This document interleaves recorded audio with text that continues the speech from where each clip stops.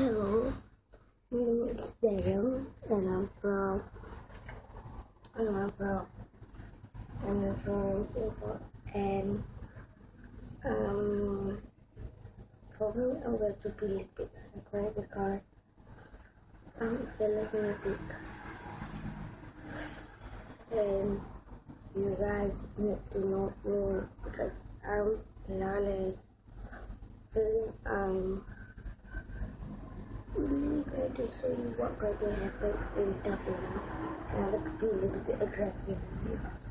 and goodbye.